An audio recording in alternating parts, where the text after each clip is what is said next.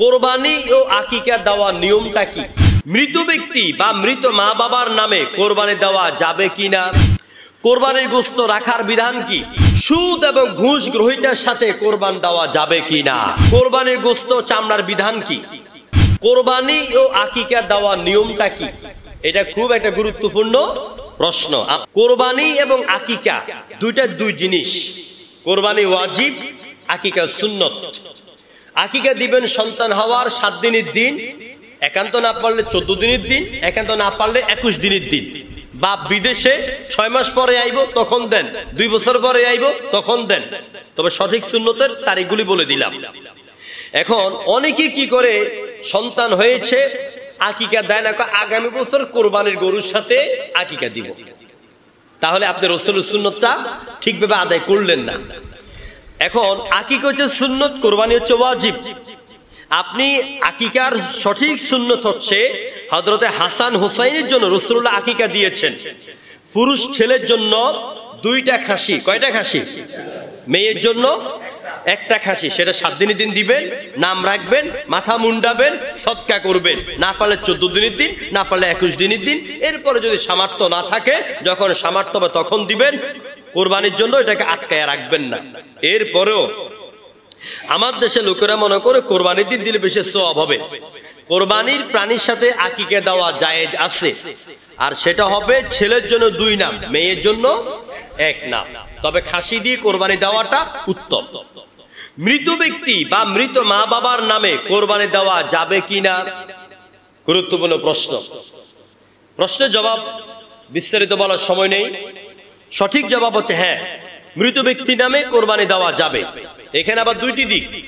মৃত ব্যক্তি যদি ওসিয়ত করে যান যে আমার নামে কোরবান দিবা, তাহলে ওই প্রাণীটা কোরবান দিয়া বা ওই ভাগা কোরবান দিয়া যা গোস্ত আসবে, আপনি এক টুকরাও খেতে পারবেন না, সবগুলি বিলীন করে দিতে হবে।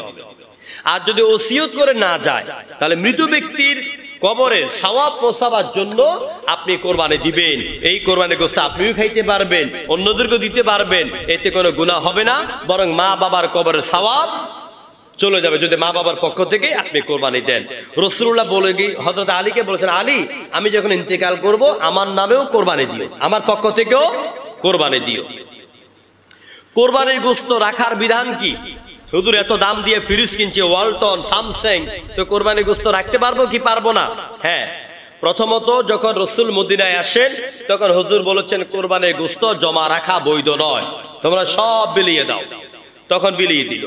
পরের বছর আসার পর হুজুর বলছেন হ্যাঁ তোমরা কোরবানির গোস্ত রাখতে পারবা, কোনো অসুবিধা নেই।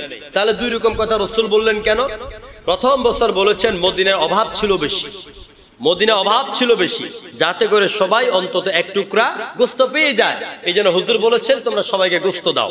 এর পরের বছর যখন অভাবটা কিছু দূর হয়ে গেল। হুজুর বলছেন হ্যাঁ তোমরা গোস্ত রাখতে পারো, এতে নিষেধ নাই। সুদ এবং ঘুষ গ্রহিতার সাথে কোরবান দেওয়া যাবে কি না? এটা আমাদের সমাজে একটা গুরুত্বপূর্ণ প্রশ্ন। দেখুন, আপনি কষ্ট করে হালাল রুজি করেছেন। এখন আপনি শরীকে কোরবান দিতে গিয়া আপনি কোরবান দিচ্ছেন ঘুরের সাথে। অবশ্যই কোন জানা শোনা আপনার এলমে আছে, আপনি জানেন। এরকম সুদখুরের সাথে, ঘুষখোরের সাথে আপনি যদি কোরবান দেন, ওর কোরবানিও বরবাদ, আপনার কোরবানিও বরবাদ।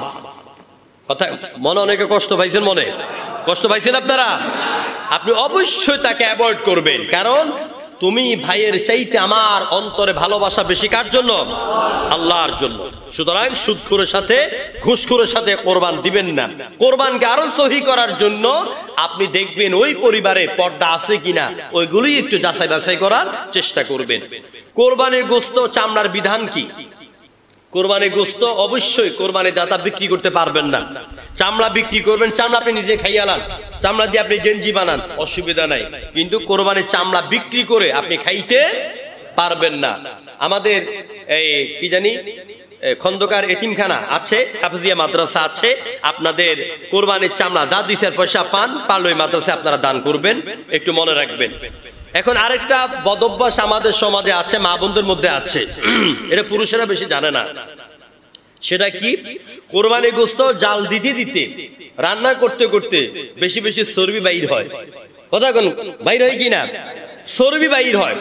চর্বিগুলো কি করে? পাতিলের মধ্যে জমা করে।